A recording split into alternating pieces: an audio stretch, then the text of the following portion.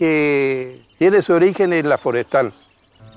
Yo por ahí, cuando escribo, pongo la forestal con minúscula y omito decir Argentina, porque en realidad era inglesa, ¿sí? La forestal vino antes de cuando este era territorio nacional. Consiguen alrededor de 2 millones de hectáreas en la zona, con el único objetivo de sacar el quebracho. Cuando la forestal planifica esto, dice, bueno, vamos a empezar, pero tenemos un grave problema. ¿Qué hacemos con los pueblos originarios? Se crean el Regimiento de Fronteras del Norte. En principio tienen el único objetivo de exterminar el aborigen. Con 14 expediciones militares, el ejército exterminó a una gran población de naciones originarias en la provincia del Chaco. Y era un régimen de vida muy dura, muy dura. Eso fue formando a la gente de esa forma, ¿no es cierto? Esa es la triste historia con la que comienzan después todos los acontecimientos sociales en función de la represión. De ahí viene la brutalidad de ellos, ¿no? Isidro que estuvo en la comisaría, detenido, hacía mandado, él todo, andaba suelto. Y no faltaba la gente tonto que le dice, mira, mañana o pasado te van a llevar a, resistencia y te vas a quedar detenido por toda tu vida. Después le vino uno de los, de los de los muchachos que estaban ahí trabajando y le dijo, bueno, mira, para esta noche prepárate, porque hoy te la van a dar a vos. Así que vos esta noche prepárate. Se escapó por lo dicho del, policía tonto ese que le dijo que él no iba a salir, iba a venir acá, iba acá para toda la vida preso. Se escapó, él salió y se fue. Se fue para siempre.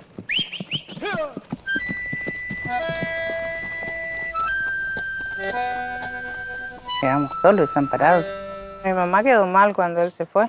Que ella no sabía nada, empezó a vender todas las cosas que tenía. Vendió todos los animales, vendió todas las cosas. A nosotros no nos podía ayudar ninguna persona. Porque a, alguna persona que venía y, y se solidarizaba de nosotros y nos ayudaba ya era porque papá le mandó que nos, ayude y ya le cagaban a palo.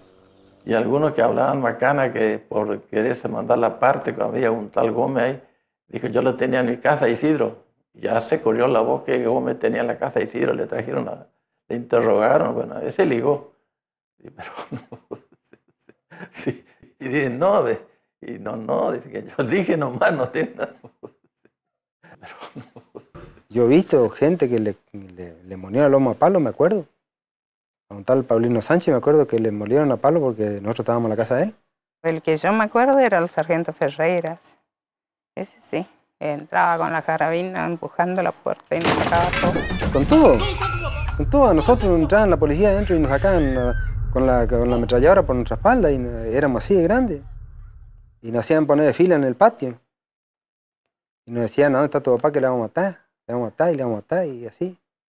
No nos pegaban porque a lo mejor éramos demasiado chiquitos. Pero mamá le trataban mal. Vino él un día, no sé si es mañana o de tarde, Mamá tenía miedo, porque si se armaba un tiroteo nos mataba a todos. Mamá le pide a papá que no venga más. Y bueno, y lo más grande lloraban porque él vino a despedirse que ya nunca más iba a venir. Porque mamá le pedía que no venga más porque un día para otro ya nos iban a matar a todos nosotros o, le, iban a matar delante de nosotros. Y, y eso ya hace mucho más doloroso que no verle más y le pidió a mi mamá la escopeta que tenía y los cartuchos. Yo era el único varón porque mi hermano Carlos nació ya cuando él ya, él tenía día cuando él se fue. Y lloraba él, abrazaba a nosotros y lloraba. Y de ahí ya no le vimos más.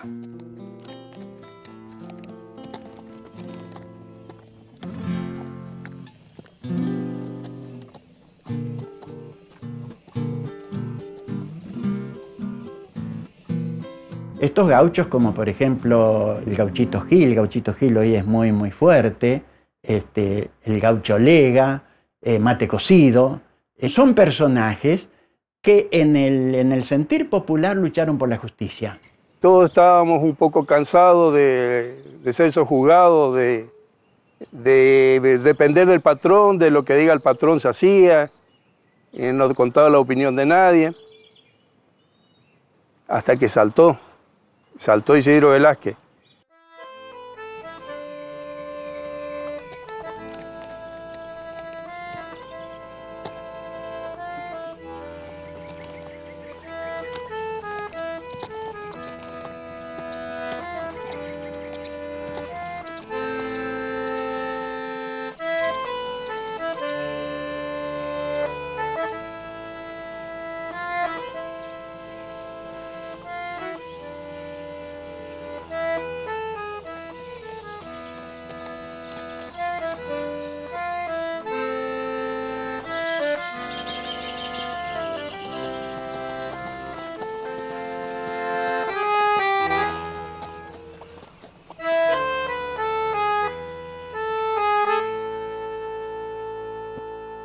Los primeros años de, de su actividad delictiva, él se esconde en la colonia de aborígenes. Él se siente tranquilo entre aborígenes. Tiene muchos encubridores, muchas amistades tenía así. era simpático, se hacía querer Isidro. Llegaba a un ranchito y, Doña, ¿no tiene algo para comer? No, ¿qué va a tener para comer? Y mataba una gallinita que, que de las pocas que tenía y el tipo le daba lo que hoy sería, por ejemplo, 300 pesos. Y alguno le pedía esto, aquello y le hacía llegar. Si él no, no podía, no iba a llegar a llevarle, le hacía llegar.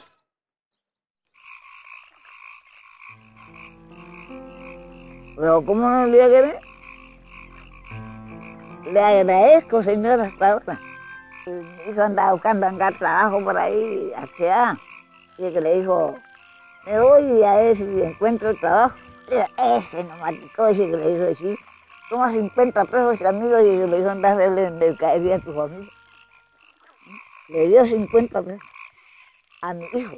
Y bueno, lo, lo, que siempre comentaban la gente era que ellos siempre pagaban bien.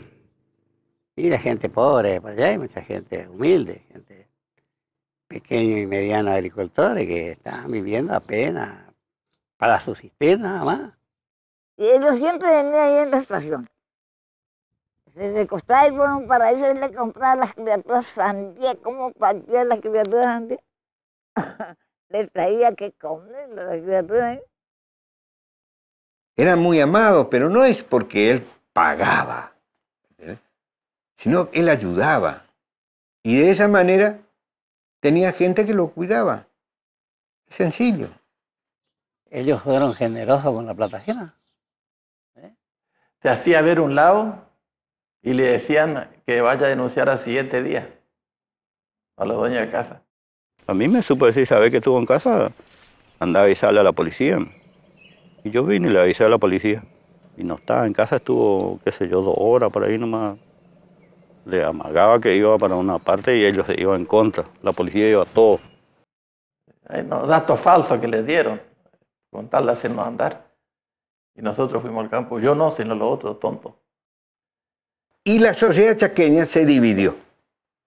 ¿no? Los que estaban a favor de Isidro Velázquez y los que estaban en contra. Y ahí se empezaba a seguir, a seguir asaltando y robando, y disparando.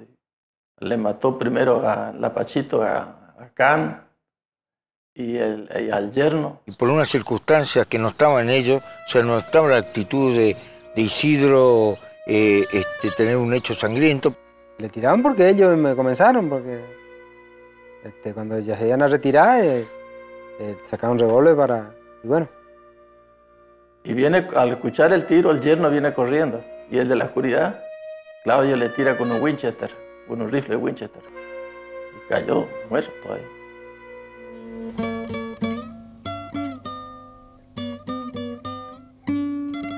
Año 62. Se considera que el atraco a Camps es el comienzo de su vida clandestina, ¿no? También en la búsqueda de Velázquez eh, tropezaba con el hecho de que no había eh, fotos actualizadas. esa foto que ustedes ven por ahí en, las pequeñas hojas de, de, Buscando la captura de Velázquez es lo que había. No eran muy conocidos por el gran parte, digamos, de la sociedad, no había fotos, eh, no había retrato de ellos. Teníamos un, corresponsal en, justamente en La Pachito, de apellido Lobato.